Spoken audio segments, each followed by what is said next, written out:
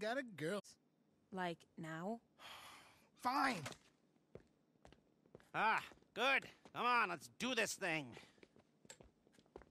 Time to crack that diamond, baby.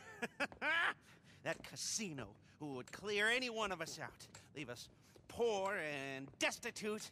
Well, today, their luck is gonna run out. Because if there is one thing that I just love screwing more than a casino, it is a